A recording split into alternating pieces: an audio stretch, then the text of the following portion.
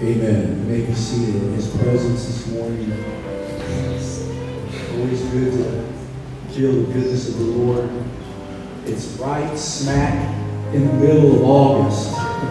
You're in the height of the summer. It doesn't feel like it, but it is. So, so uh, many of our guys travel to go forth, but God visits us here every time. Aren't you thankful the Holy Spirit doesn't take, aren't you glad He doesn't take a vacation? He's always on time, He's always present. If you have a Bible today, I'll be looking in Psalm 37, and I encourage you to open there. I'll have the verse on the screen, but I'm going to refer to the whole chapter, the whole psalm, because of the beautiful things that it says in it and the theme of this psalm. Now, I began preaching last week a new series on righteous. Everybody say righteous. Righteous. And so today I'm going to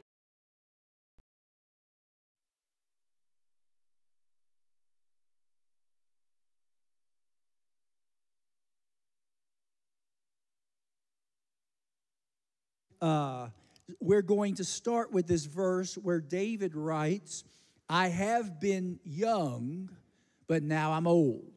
Yet I have not seen the righteous forsaken, nor his descendants begging for bread. When I was first saved at age 17, I used to read this verse, and it never really resonated because I was young. Uh, but now I'm old. And so now I can read it and I can agree with the psalmist. I have been young, but now I'm old. But yet I have never seen the righteous forsaken or his seed begging for bread.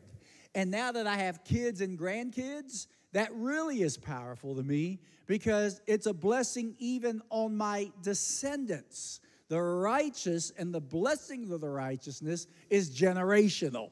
Can you say amen? And so, so I look at this verse, and it's one of the gems in the Bible, uh, and one worth memorizing out of the Psalms. David writes this, King David.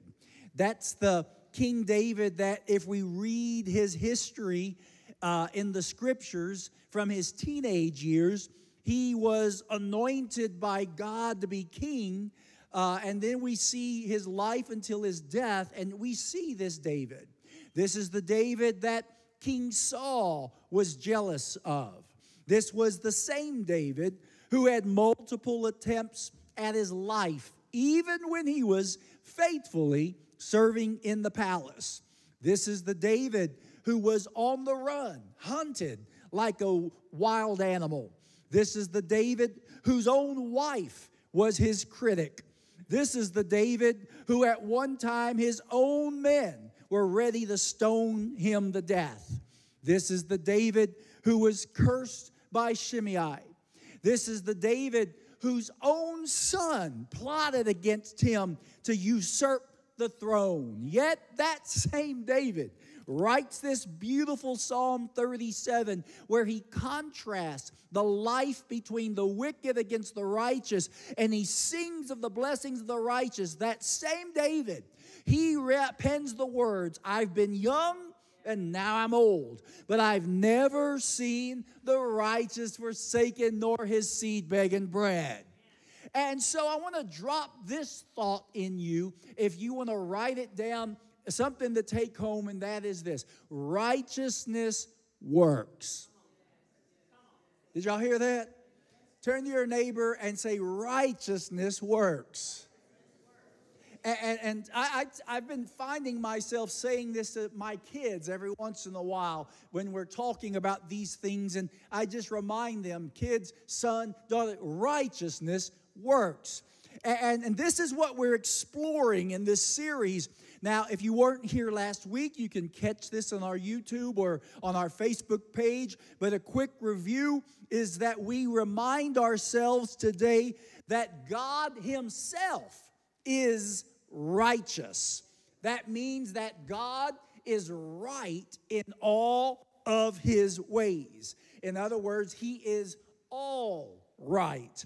He puts the right in righteousness. Psalm 89 told us and tells us that the very foundation of God's throne is justice and righteousness. That means He is eternally, perfectly, persistently, entirely, thoroughly, completely, and overwhelmingly righteous, without error, without flaw, without mistake, without weakness, without retreat. God is ever right. Can you say amen to the righteous God? And as a righteous God, we learned last week that God loves righteousness. And righteousness is a reflection of the character of God. And therefore, he loves not only righteousness, but God loves righteous. Any righteous in the house, amen. We're going to talk about it if you have a a, doubt of whether or not you're among the righteous. We're going to learn about that, but there's a difference, and I want to talk about the difference between righteous and righteousness. Now, righteous is a positional status, and righteousness is a lifestyle. And so we're going to talk a little bit about both because I want to make sure everybody in the house can leave here saying, I am counted among the righteous. Why? Because God's righteous, He loves righteousness, and He loves the righteous, and I want to be one of them. And so let's define righteous again. We talked about it a bit last week. Righteous are those who have been positionally made righteous by God. This is the new birth, being born again, being saved. You're not righteous by doing righteous deeds because anybody can do righteous deeds. An atheist can do righteous deeds. They can give to the poor. They can help out a widow. An atheist can, can, can run a soup kitchen. Atheists can, these are righteous deeds according to the Bible, but that righteous deed does not make the atheist righteous. Uh, before, but we performing righteous deed does not make us righteous, uh, positionally righteous. Being made righteous is an act of God. It's being made in right standing in His presence. It's a work of grace. It's a work of His mercy. It's made possible by the blood of Jesus and the work of His cross. It's a spiritual act, it's a spiritual positioning. And so, get this when you're born again, that is, you hear the gospel, you believe the gospel, you repent of your sins, and you confess Christ, the crucified, buried, and resurrected Savior, calling upon Him to save you, the Bible promises you shall be saved. And that's the born again experience. And, and that's, that born again experience is what makes you righteous because God in heaven, in response to the obedience of your faith, cleanses you from all unrighteousness, therefore presenting you righteous in his presence. That's positional righteousness. Have you been made righteous this morning? I'm asking you, church, if you don't know, I pray you know before you leave the building this morning. The righteous God is in the business of making unrighteous people righteous. And there's a bunch of immediate blessings that comes from becoming righteous in Christ. One, your appointment with hell is canceled. Every sin and failure of your past is washed away, never to be remembered again in heaven's court. Now you have the hope of the resurrection to eternal life. Your name is written in the Lamb's book of life. You're adopted by the Father as his son or daughter. You become an heir and a joint heir with Jesus Christ of the kingdom of God. You have a high priest interceding for you in heaven Jesus Christ the righteous. You have a direct and open access to the throne of God in prayer. You are now part of the family of God, the body of Christ, which is the church. You, instead of floundering through life, you now have a purpose and a mission, and there are giftings and callings that are yours to receive and use for His service and glory. How about just be made righteous? Who wouldn't want all that? Amen. I'm glad God has made me righteous. That's why Romans 10 and 10 reminds us this it's with your heart that you believe unto righteousness, and with your mouth you confess, and confession is made unto salvation. And I'm saying, if you're not made righteous, if you haven't been born again, if you haven't been saved, but you believe right now and you can ready to confess Christ, why not today? Amen?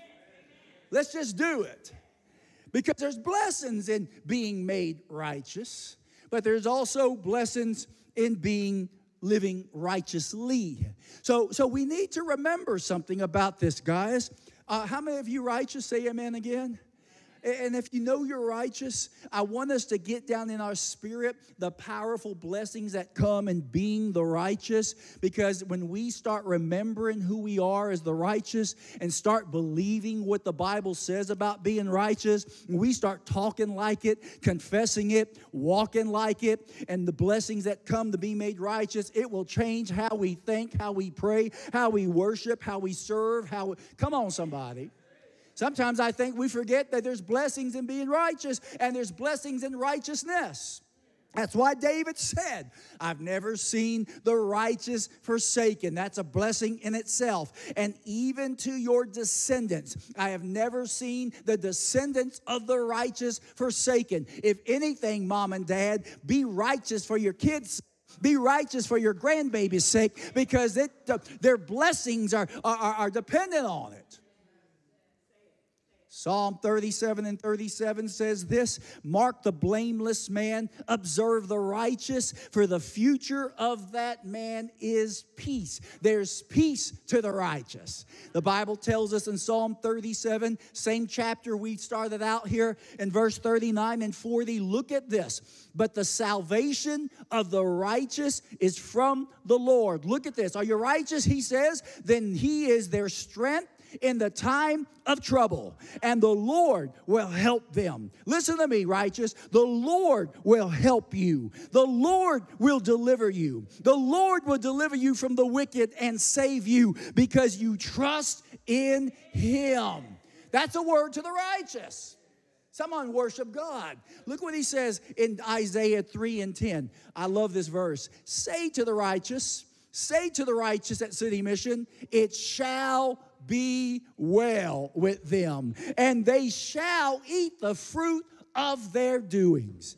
Anybody getting this down in their spirit? Because I think this word's coming alive and prophetic right now. Let me say to the righteous that it shall be well with them, and you will eat the fruit of your doings. Come on and receive it and worship. That's the word of the Lord for somebody. The Bible tells us in Isaiah and also in Proverbs, he says this He that, Proverbs 21 and 21, he that follows righteousness and mercy, he's the one that finds life and righteousness and honor. 34 and 19, I like this. It says, Many are the afflictions of the righteous. That means just because you're righteous doesn't mean hard times aren't going to come. Just because you're righteous doesn't mean you're not going to have a blowout on A6. Just because you're righteous doesn't mean you're not going to have a jerk for a boss. Just because you're righteous doesn't mean you're not going to have bills that are bigger than your income.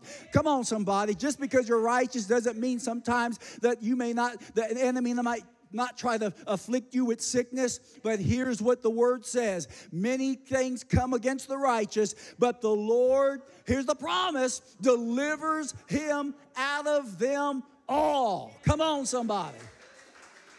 That's the promise to the righteous. Now, now, now, listen. Even if the ungodly, there's a lot more in there. I'm just gonna give you a little bit every week, all right? Is that all right? But is that enough to get you through the week? Listen, even if the ungodly or the atheist or the untaught does righteous deeds or does what is right, it may not save them, but it still catches God's attention. Did y'all hear that? In fact, I, I was going to pull that verse out of Acts where, where, where Paul even says, everywhere in every nation, there are men that, that, that, that do, do right, and God recognizes this. Doesn't mean they're saved.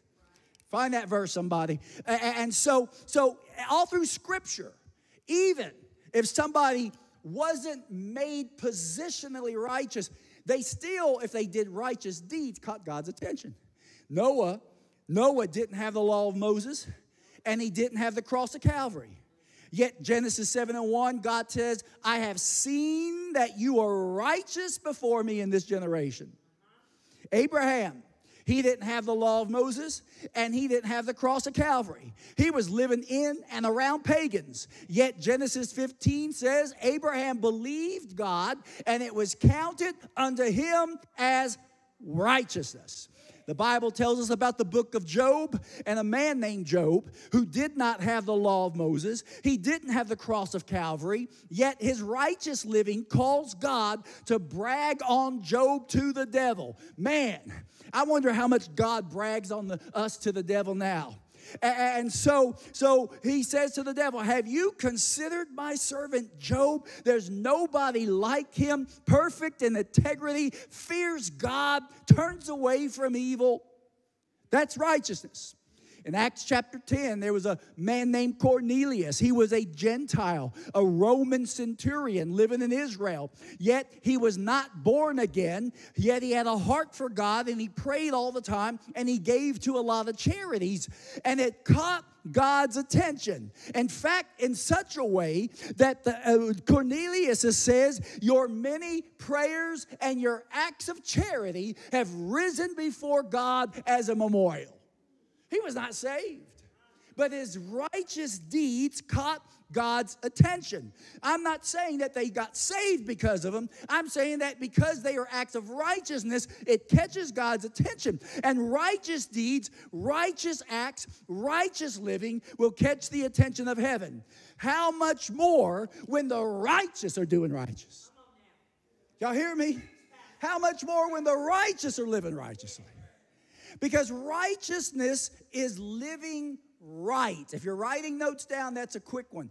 Righteousness is simply living right. Righteousness is doing the right thing. Righteousness is a standard of living, a way of life, a core philosophy of doing things. Righteous living is not possible without a clear moral definition, a clear sense of right and wrong, good and evil, holy and unholy. And so, theologically speaking, righteousness is living in a way that mimics the righteous God.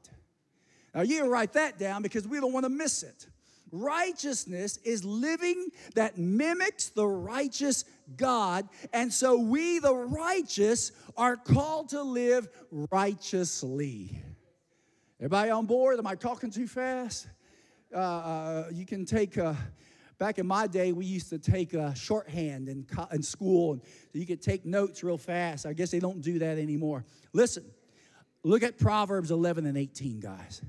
Let me take y'all somewhere with this righteous thing. I'm talking about living righteously. Proverbs 11 and 18 says, He that sows righteous will have a sure reward. Right? Now, sow means to plant. And our brother uh, uh, Scott talked about it in the pulpit at offering last week about sowing and, and, and reaping, and we need to learn to plant. He was talking about giving and finances, which the Bible applies to that. But here he's talking about sowing righteousness. So if you sow righteousness, out of that planting, you're going to eventually reap a sure reward. Now, this is a spiritual law we call the law of sowing and reaping. And so, what we're learning here is that righteousness is a lifestyle that comes back to us in spiritual blessings because the law of sowing and reaping is attached to it. The law of sowing and reaping is a universal spiritual law that is true all the time and for everybody sinner and saint, unrighteous and righteous. Now, this is not karma. We are word people. This is a spiritual law of planting and reaping. Everybody with me? That's why Galatians says in 6, 7 through 8, don't be deceived. God is not mocked. Whatever a man sows or plants, he that which he will also reap. Any farmers in the house? If you plant corn, you're going to grow corn. If you plant wheat, you're going to grow wheat. If you plant uh, beans, you're going to grow beans. Whatever you plant is what you get back. Man, that's a lifestyle we need to learn again the law of sowing and reaping. Uh, because we need to learn to strategically sow. That's why I got yellow squash growing up on my patio because you can't good get get good yellow squash like we eat in Texas here. So I snuck some. I, I brought some in my suitcase when I was home last, and I'm growing it on my patio. I strategically planted what I wanted to reap. Oh, come on, that's another sermon here. That's why I got pepper plants growing because every pepper plant I've ever pepper I've bought in Germany is not hot at all. Even when it says hot, even if it says, it says very hot, it's not hot. So I'm growing my own peppers. I'm strategically planting what I want to reap. Y'all not getting this? And so here he's saying, whatever you sow is what you're going to reap. If you sow to, if you sow to the flesh, that which is carnal and fleshly and sinful, that's what you're going to reap, destructive things in your life. But if you sow or plant strategically righteous and holy things, then you're going to reap things which are eternal. I hope you, I hope we're all getting this. Young adults, now's the time to get this because you got a lifetime ahead of you and you can sow some seeds right now that's going to help you reap good things later. Because there's a bunch of people my age that look 20 years older than me that sowed some bad seed and they're reaping come on some all right i don't want to get off track here but I want y'all to get with the sowing and reaping. So, so, so if you understand sowing and reaping, then, then we look at the law. Paul applies it to finances, uh, financial giving. If you sow into good soil, it comes back to you. Uh, and then he also talks about it when he comes to righteousness. You sow righteousness and you'll reap good rewards. God rewards righteousness. My question this morning to everybody is what have you been planting? And what do you plan to plant from this day forward? Now, remember, we learned last week that scripture tells us that when the righteous are in charge, the people rejoice. But when the wicked prosper, nobody's happy. That's my translation. Another verse says, righteousness exalts a nation. We want blessings, we want to be blessed. We need a revival of righteousness. So, so, so if we don't see the need for righteousness in our nations, today, then we are in utmost trouble. And I'm thankful for the young adults in the house because I want y'all to get this because this generation, your generation, needs to understand what righteousness is and, be the next ones to carry that baton. But but here's some obvious observations, um, you know, because we look around us and we have um, so been engrossed in politics as uh, as if it is the answer. And, and, I'm saying this on behalf of church folk everywhere, not just in America, but every nation of the world. It seems like you have uh, politics gone wild, and we think that somehow that politics is going to be the answer. Politics in itself is a system that necessitates self promotion. It is an ever shifting competition amongst players for power, influence, and control. And so it's a necessary evil because Paul even teaches laws and governments are from God because God is a God of government, order, and structure, and that governments exist to keep uh, anarchy from uh, existing. But but here's the truth: politics handled unrighteously is an ugly thing, and and yet we will find ourselves as the church looking to politics and government as an answer to man's woes. And we look through history, and there's all kinds of forms of government. You learn it in school. Communism presents itself at its root as justice and equality for the working people, and that sure sounds righteous. But history tells us that no communist nation has ever existed that has ever seen that reality, nor has one existed where there has not been extreme oppression, loss of dignity and rights as well. Socialism presents itself as a system that looks out for the collective well being of all. Yet there has never been a socialist government anywhere where poverty did not prevail over prosperity. All we all look at capitalism, especially in the West, and we present capitalism as prosperity through free markets and free enterprise and opportunity for all. However, if left in the hands of men, it also provides no bridle against corruption and greed. Therefore, covetous and materialism often prevail. So look around us. What political party has not been exhibited by corruption and scandals? After all, what has government have in history done. It was government that made laws declaring a person being less of a man. It was government that passed laws uh, that certain races of people should not exist. It was government that declares certain faiths and religions as being illegal. And now look around us, we see governments using political spin to divide and polarize, turning one citizen against that citizen, producing constant infighting and incivility on the main street. We ought to step back and look and recognize through the eyes of the righteous that nothing is righteous in that. And yet we find ourselves thinking that this government or that party can legislate righteousness, and they cannot.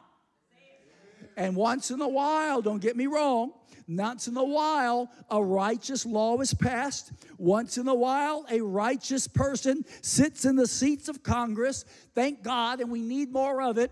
And once in a while, righteous people get in the council of governments. God help us raise up more. We ought to be active in this. But listen, it seems though, in the process, we no longer know what righteousness looks like. What we need in this generation is the righteous to sow seeds of righteousness. And it is the church that is called to sp- spread the seeds of righteousness, not the government. This is all right. It's our job. How much time? Okay, good. See, let me address something as uh, the obvious because we're talking about righteousness and what that means. And let me get something out of the way ahead of time. Righteousness often is looked at as sin free living. And let me say amen, amen to the amen. Righteousness is sin free living. Can you say that? Amen. And I know we don't hear that preached a lot uh, because we want to just overlook everybody's sin and include everybody and, and, and, and so forth. But, but righteousness does involve sin free living. But, and we want to define righteousness as living sin free.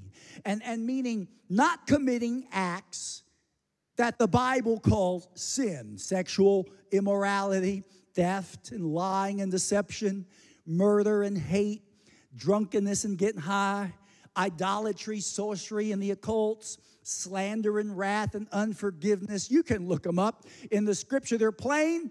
And so we say we're not living in these sins, and that is a righteous way of life. Fact, we call this holiness. And uh, y'all still believe in holiness around here? Living a life that is holy involves the avoidance of sinful practice.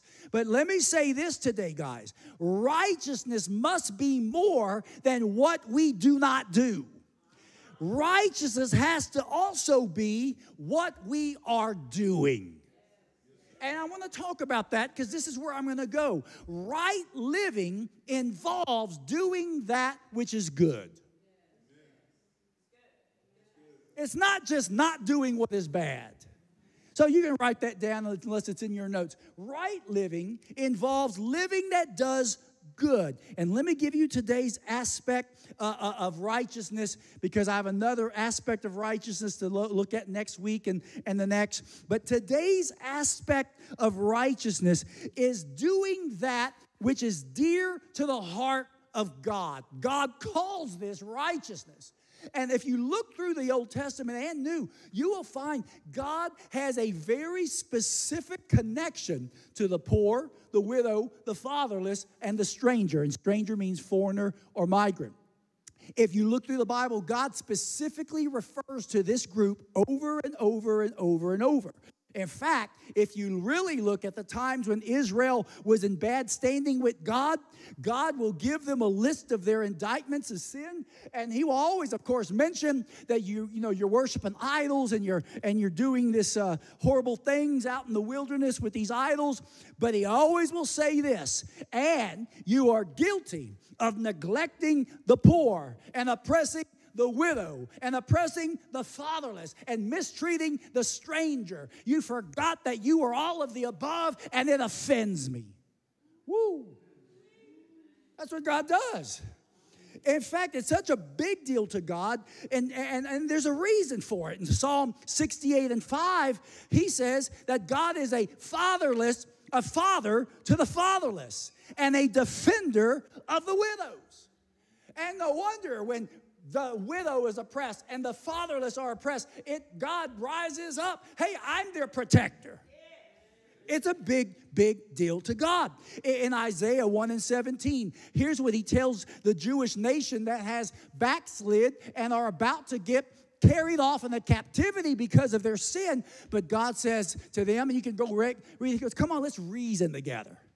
Israel, come on, sit down. Let's, let's talk about this and negotiate. Because if you do the right thing, then, then you'll live right. If you if you repent and turn to me with all your heart, everything's gonna be all right. And then he says this, and if you learn to do good and seek justice and rebuke the oppressor and defend the fatherless and plea for the widow, he says, You'll please me.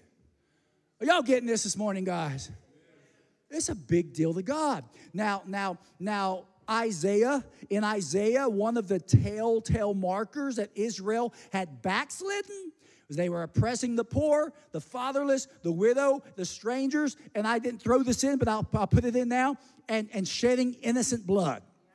In Jeremiah, once again, read Jeremiah, God's indictment against Israel, the same thing. You're oppressing the poor, you're oppressing the widow and the fatherless, you're oppressing the stranger, you're shedding innocent blood. In Ezekiel, he does it again. In Malachi, he mentions it again. Come on, this is something big to God.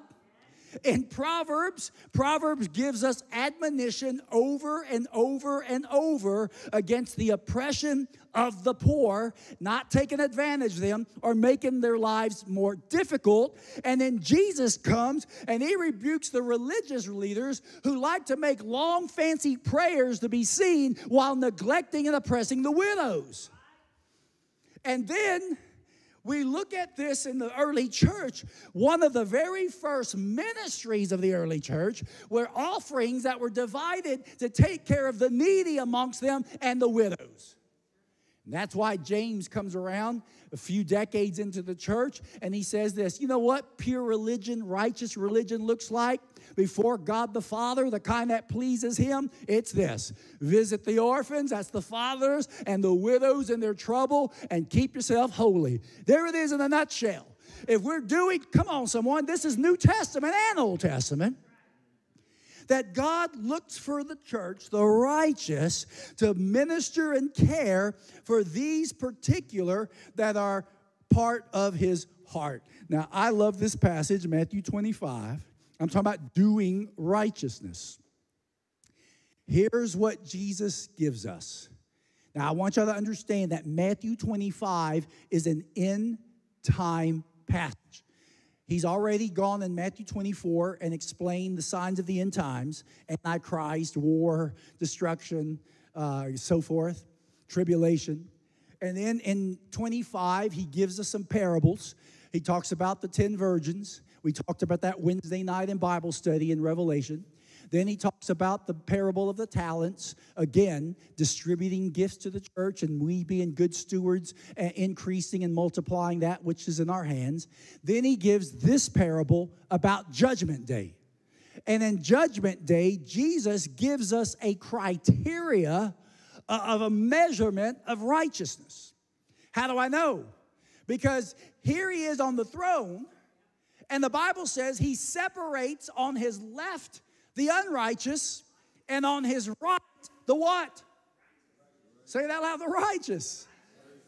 And then he gives a powerful demonstration of a future day of judgment where he describes what the righteous were doing.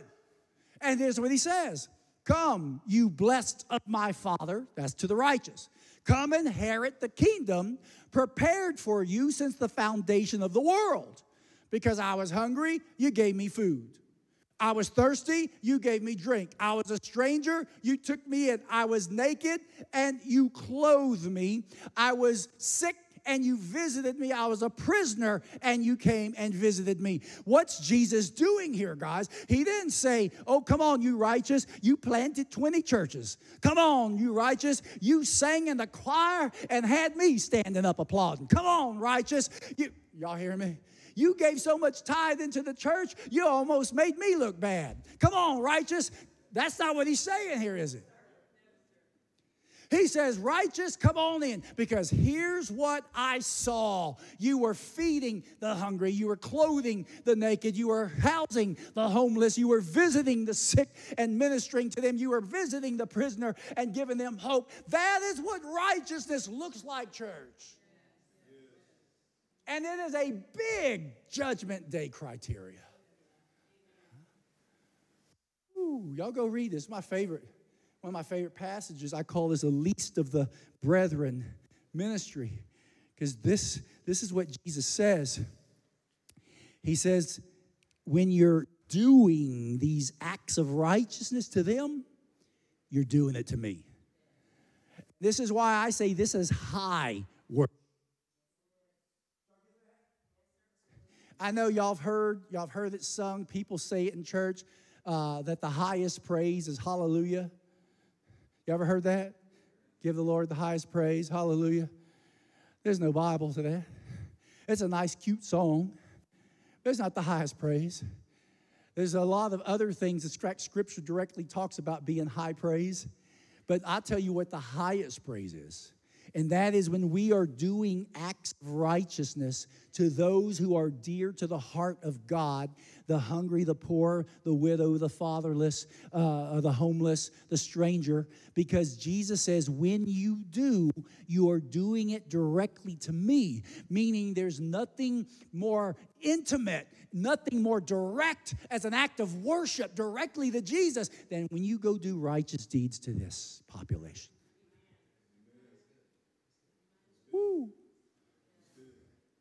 Y'all with me? I got seven minutes and 14 seconds.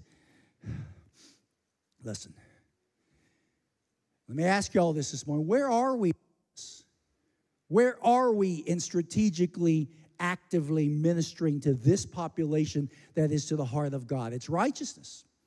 And it's really not that hard, church, for us to adopt this heart of God uh, and to be proactive. In fact, you could leave this building today before we leave and pray and ask the Holy Spirit to give us spiritual eyes to be able to see those around us who may be in need. And really on a daily and practical level, because it should be the lifestyle of the righteous. See, years ago, probably 25 years ago, I, I, I was with a fellow minister who was on the mission field uh, for years and did a lot of homeless ministry and train station ministry and bus station ministry. And, and, and so it was his lifestyle. And I was still a young pastor. and he and I had pulled into a, a mini mart store to grab something to uh, eat for the road, and I don't remember what else, some drinks. And I, I went in and I got what I needed, came out and got in the car. And then he came out, and I was watching as he came out. He had what he had, and he had another bag. He turns over to the right, walks to the corner of the parking lot, and he hands the bag to a apparently homeless man that was standing there looking very strung out and desperate. And he gave it to him, held his hand, said a blessing over him, and then got in the car. And the Holy Spirit got on me and said, You walked past him and didn't see him, he saw him. And I felt horrible that I did not see him too. And I asked God, help me to never not see that least of the brethren anywhere I go. And, and, God really used that moment. And this is what we have to do as a church. Don't let us walk out and not see the ministry that is in front of us and the opportunity to do an act of righteousness. See, a few years later, five, six years later, when I was driving back and forth into the city of Houston for school, uh, I would often sit at lights and in Houston at the time, probably still, they had those guys that stood at the red lights with the sign, you know, hungry, uh, need a meal, you know, whatever, and want you to give them some. Sometimes they're cleaning your windshield and, and wanting an offering. I was on my way home. I had, sometimes my wife would pack me a lunch if I was there all day long, and I had my bag and I had a couple things in it, maybe an apple, I can't remember. And I was at the light, and I could see out my peripheral there was the guy sitting there. And you, they're everywhere. And, you know, I almost never gave money uh, because a lot of times, you know, these guys are alcoholics or drug users, and you think in your mind, well, you don't want to supply them drugs. But I had that apple. And I know I could have given that apple to somebody, and he was at the corner of my eye. And right when the light was about to change, I turned and looked at him, and he was a he was an older, skinny uh, black guy. Not as old as you, Anthony, but a lot skinnier. and he was sitting like this weathered face, graying hair, hardened, and when I looked up at him, he smiled the biggest smile that one could muster. I'm talking about like he recognized me and was happy to see me, big, giant smile. He wasn't even on his feet. He was sitting, he wasn't at my door knocking on the window for money. He was just sitting there like this. And the light changed and I drove off, but his smile would not leave me because the Holy Spirit hit me said, You just looked into the face of Jesus and you drove off.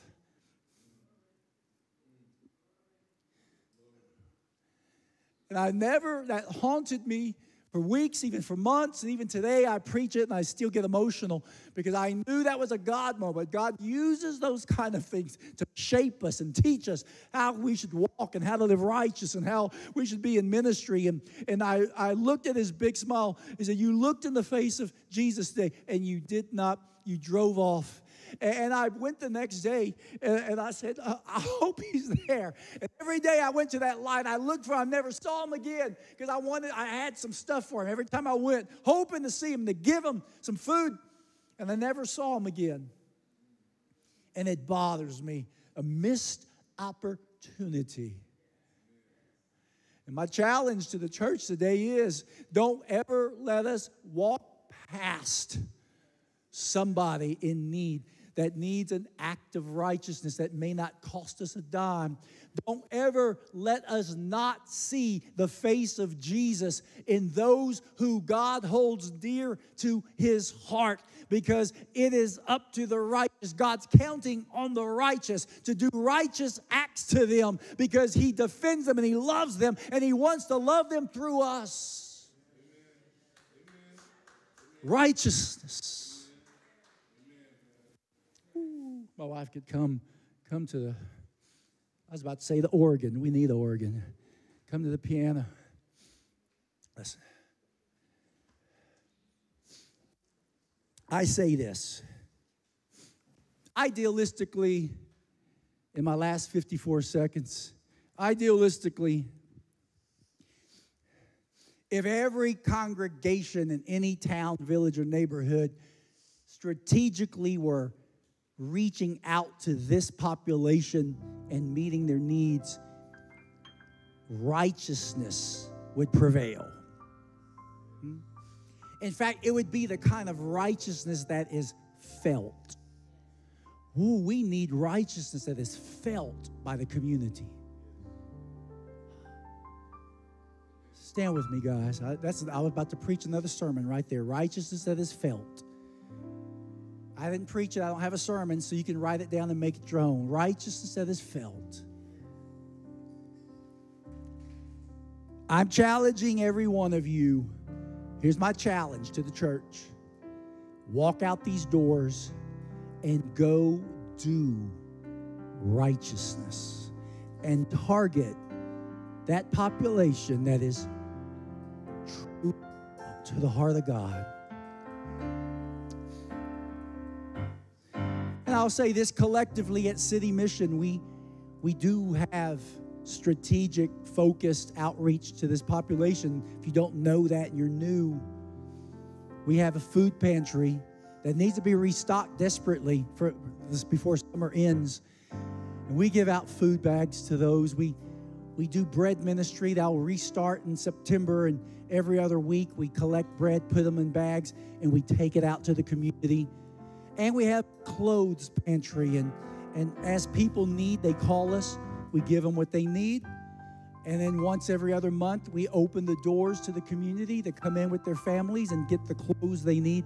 So listen, we're, we're we as a church, I'm so thankful that was in place when I got here because my mind was if they didn't have anything like that, I have to start it from scratch. But no, it was here and it is part of who City Mission is. So I invite you, it's doing acts of righteousness. It doesn't make you righteous because you're righteous involved in any of that. Uh, C. Anthony, uh, he's, he, he heads over this ministry, and in September we're restarting it, but you can be part of that. And there's an empty food donation box right there, like three items. Next week you could have it filled to the top because you're you're reaching the population that God loves. But this is not a, a, shameless plug. This is just saying, hey, we're doing stuff and you have an opportunity to be part of it here as well. But I'm asking you, Lift your hands with me right now. Say this out loud Father, give me eyes to see. Don't let me pass one who needs an act of righteousness and mercy and compassion. Give me spiritual eyes to see the face of Jesus in every glance I make and every face I see. Send us now, Holy Spirit, to go spread righteousness, righteousness that is felt. In Jesus' name. Give the Lord the praise today. Give the righteous God the praise this morning.